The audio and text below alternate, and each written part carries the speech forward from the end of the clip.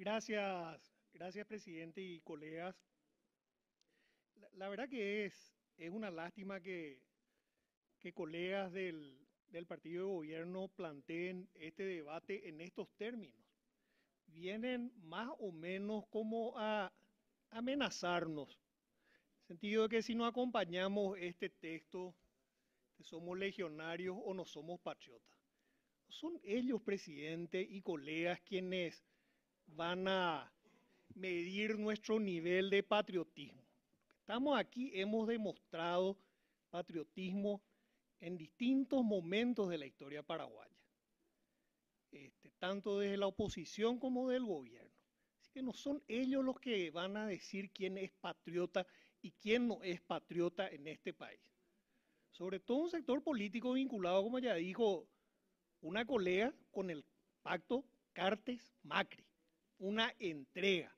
Entre paréntesis, si hay algo que tenemos que agradecerle al Congreso argentino es que haya rechazado ese acuerdo porque era totalmente lesivo a los, a los derechos paraguayos. Si no, hubieran, si no hubieran rechazado ese acuerdo, hoy estaría vigente y hoy el daño hubiera sido irreversible para nuestra patria, ya que estamos hablando de nuestra patria.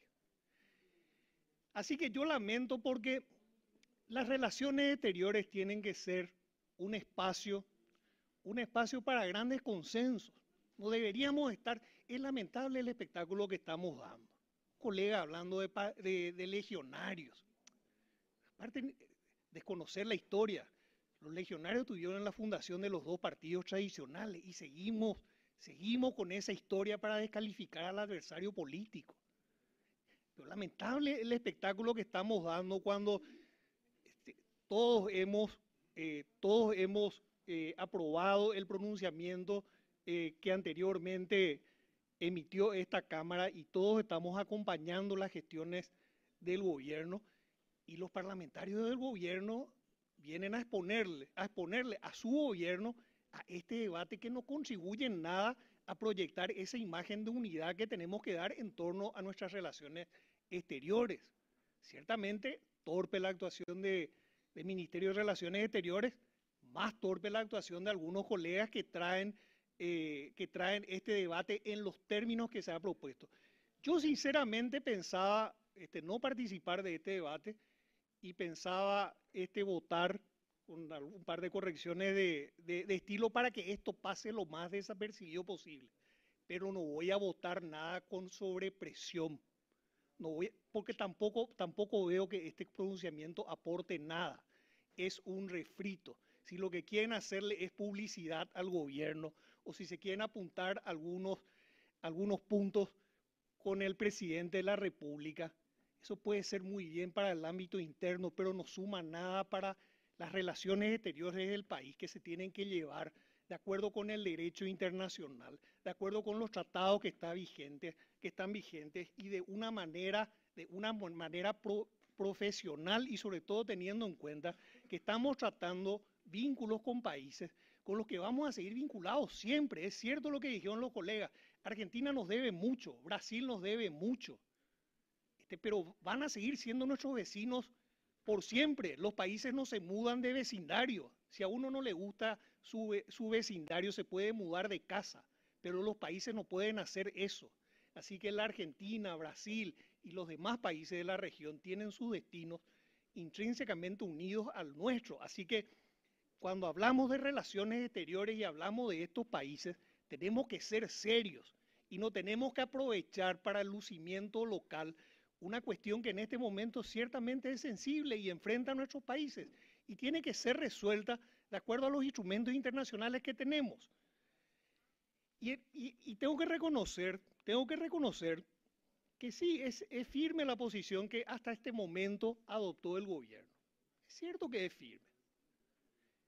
Ahora, espero que esa firmeza se mantenga en el tiempo, porque tenemos muy malas experiencias en materia de política exterior. Acuerdo nada más para no volver al, pacto Cartes-Magri, me acuerdo cuando asumió el, entonces presidente Duarte Fruto, eh, que hizo una serie de declaraciones ribombantes que iba a ir a presionarle al Brasil, que iba a resolver el problema de Itaipú y volvió con 30 millones de dólares. Eso. Eso fue, esa fue la firmeza de Duarte Fruto. Y repito, yo realmente no quería hablar de todo esto porque estamos en el ámbito interno y estamos hablando de, las relaciones exteriores.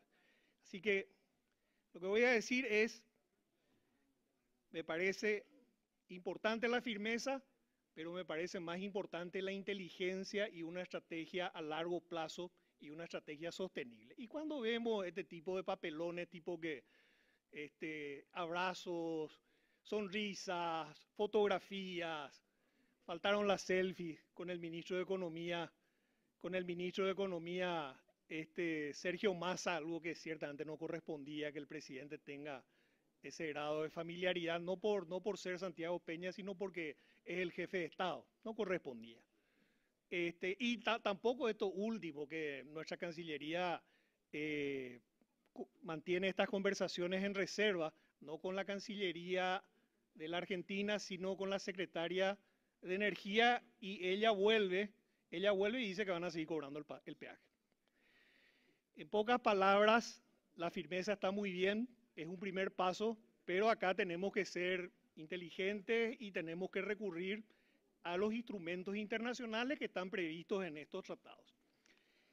Eh, y termino con una cuestión, a ver, ¿qué, sumaría este, ¿qué sumaría este pronunciamiento al debate? Le decimos al Senado argentino que le apoyamos con la más firme convicción la determinación del gobierno. Sería muy extraño que el Congreso no apoye porque las relaciones exteriores las llega al Poder Ejecutivo. Así que, este, por supuesto que el Congreso apoya lo que hace el Poder Ejecutivo porque tenemos en nuestra Constitución un régimen de, división y separación de poderes. Así que, claro que apoyamos. Esto es una obviedad. No podemos no apoyar.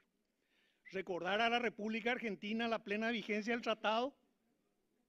Eh, estoy seguro que eh, a lo mejor no todo, pero estoy seguro que el Congreso argentino y los técnicos del Congreso argentino saben que este tratado está vigente. Una obviedad decir que hay que recordar que hay un tratado vigente porque justamente estamos haciendo reclamos en el ámbito internacional en base a ese, a ese tratado.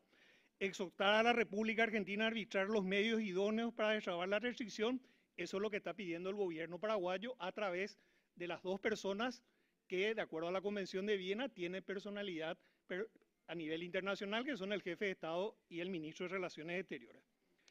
Repudiar las declaraciones del embajador argentino, no creo que eso, no creo que eso sume nada y no creo que le corresponda al Congreso. El canciller le convocó al embajador argentino.